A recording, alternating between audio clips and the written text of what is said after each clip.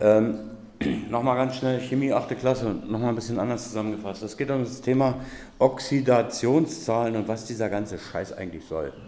Ähm, nochmal ganz schnell zurück. Ein Atom, nennen wir es heute mal Sauerstoff. Oxygenium, ich mache mal ein O dahin, das geht schneller. Äh, ein Sauerstoffatom.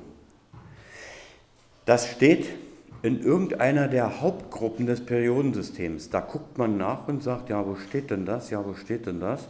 Und findet die sechste Hauptgruppe. Da steht das drin. Warum? Das steht deswegen da drin, weil es sechs Außenelektronen hat. Ich mache es mal so, äh, dass ich sage, gut, wir nennen dieses Sauerstoffatom jetzt mal O wie Otto, nicht Oxygenium dauert mir zu lange, und Otto hat, so wie Karl, Paul und wie sie alle heißen, also Kalium und P wie Phosphor, äh, wie sie alle heißen, die haben alle ein Bestreben, und zwar sie möchten ideal und edel sein. Sie möchten gerne auf ihrer äußersten Schale der Elektronenbahnen acht Außenelektronen haben. Acht Außenelektronen ist der Idealzustand. Wer die hat, ist edel, reagiert mit niemandem, lässt sich mit keinem ein. Die können mich alle mal. Das ist der Haken. Und Otto möchte die auch gerne haben. Genauso wie Neon, Xenon, Krypton, Argon, die haben acht Außenelektronen auf der äußersten Schale. Die sind alle zufrieden. So möchte Otto sein. Ja, jetzt hat aber Otto ein Problem. Alle Atome, die fangen so an. Nehmen wir mal das einfachste Atom, das ist ein Sauerstoffatom. Das hat ein Proton, ein positiv geladenes Proton. Und außen schwirrt ein Elektron herum. Ein einziges, ein E-. Mehr nicht. Wasserstoff ist totunglücklich und sagt, wisst ihr was, ihr könnt mich ja mal, entweder ich kriege ein zweites, das ist nämlich eines der wenigen Ausnahmen, ich, entweder ich kriege ein zweites hier rauf auf diese Schale, oder ich gebe sogar mein Elektron ab. Das wäre mir lieber. Puh. Ich schmeiß das sogar weg. Ist mir vollkommen Schnuppe. Nehmen wir mal Chlor.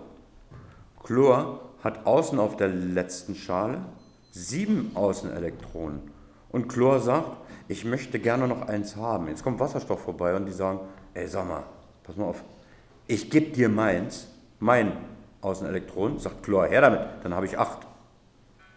Nun sagt Wasserstoff, ich kriege sowieso kein zweites, weg damit. Jetzt sagt Chlor, na super, ich habe acht, ich freue mich. Ich mache das extra mal etwas schnodderig. Ne? Äh, ich freue mich und habe jetzt dieses Außenelektron vom Wasserstoff mir geschnappt, aber da ich ja jetzt hier innen drin eine positive Ladung zu wenig habe, bin ich ein naja, ein bisschen gestörtes Atom. Ich bin ein sogenanntes Ion. Und ich als Chlorion bin einfach negativ geladen, denn ich habe jetzt hier außen acht Elektronen, obwohl ich außen nur sieben haben müsste. Wasserstoff sagt, ich bin auch ein Ion, hurra, denn ich bin mein blödes Außenelektron losgeworden. Entweder ich kriege zwei, kriege ich nicht, also gebe ich meins ab. Was überwiegt aber? Die einzige positive Ladung. Mit anderen Worten, die beiden ziehen sich an. Denn dieses Ding, das was bloß noch übrig bleibt, das Wasserstoffion ist positiv und das Chlorion ist plötzlich negativ geladen, denn es hat ein Elektron zu viel. Das ist dann eine, wenn die sich anziehen und die sind ganz gut zusammen, eine sogenannte Ionenbindung. Jetzt ist es aber bei äh, vielen chemischen Prozessen nicht so, dass sich Ionen zueinander finden und binden, sondern ich habe nicht umsonst Otto, das Oxygen, hier genommen, das er gerne 8 hat, aber nicht hat. 8 hätte. Kleinen Moment. Es gibt ja auch Oxidationsreaktionen, Oxidationen. Und es gibt nicht immer nur solche Ionenbindungen. Und da hat man sich gesagt, das Prinzip, wie Ionen sich binden, daraus leiten wir die Oxidationszahl ab. Sprich, hier hätte ich eine Oxidationszahl von 1 und zwar positiv und hier von 1 negativ. Obwohl das beides keine, äh, obwohl das beides äh, Ionen sind und demzufolge die Ionenbindung ist relativ locker, die äh, beruht ja nur auf elektrischer Anziehung und in diesem Fall die beiden leicht zu trennen werden. Oxidationsreaktionen, zum Beispiel Eisenoxid oder machen wir es so, Eisendreioxid.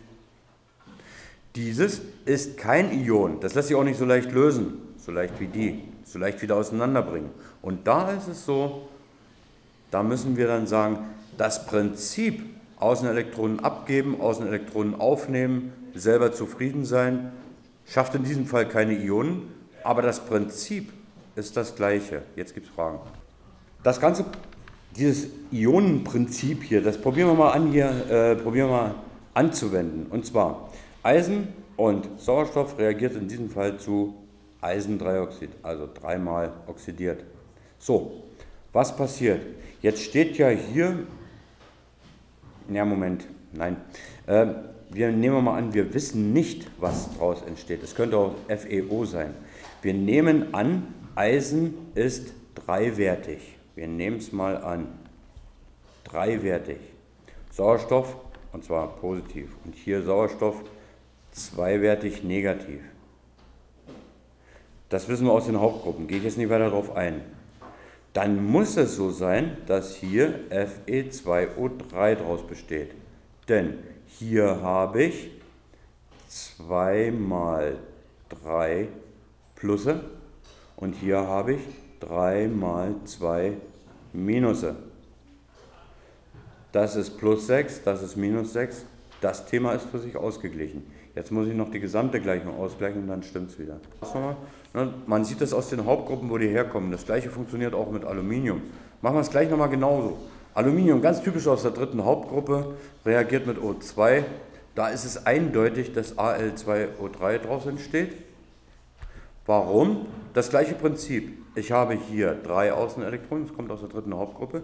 Ich habe hier zwei fehlende Außenelektronen, also zweifach negativ, zweimal negativ, dreimal positiv. Und das muss dann so funktionieren, sonst kann ich es nicht ausgleichen.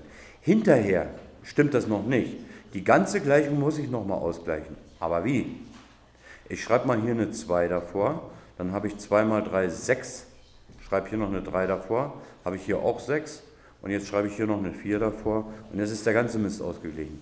Wenn ich jetzt alle positiven Ladungen 4 mal 3 plus, habe ich hier 12 Plusse.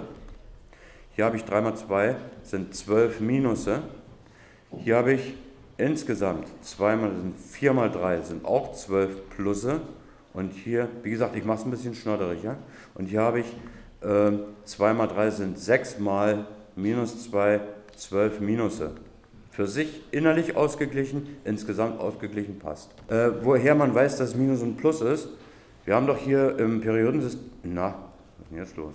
Wir haben im Periodensystem verschiedene Hauptgruppen. Hier die erste, die zweite, dritte, vierte und so weiter und so fort. Und das setzt sich dann fort bis zur achten. Ne? Na, machen wir es noch. Fünfte, sechste, Deswegen nehme ich die römischen Zahlen, siebte, die achte lasse ich jetzt mal weg, weil mit denen reagiert sowieso keiner.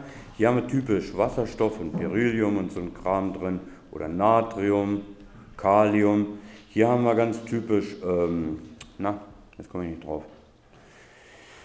Unter anderem auch Calcium drin. Hier haben wir Aluminium mit drin und das zeigt, wie viel Außenelektronen die haben. Wenn sie die abgeben, dann bleibt im Kern mehr Positives übrig. Deswegen sind die im Allgemeinen, wenn sie die abgeben, positive Ionen. Kohlenstoff zum Beispiel kann sich entscheiden, entweder nimmt 4 oder gibt 4. Wenn er 4 gibt, bleiben 4 Protonen zu viel, also ist das ein positives Ion. Phosphor, selbst bei Phosphor geht das noch, aber jetzt wird es langsam spannend. Sauerstoff und hier zum Beispiel Chlorum, da ist es so, dass die im Allgemeinen sehr süchtig sind. Also ab, ab Mitte sind sie eher süchtig nach Außenelektronen. Wenn sie abgeben, bleibt der positive Kern, deswegen positiv. Wenn sie aufnehmen, haben sie zu viel negative Elektronen, werden sie negativ. Daher kommt das.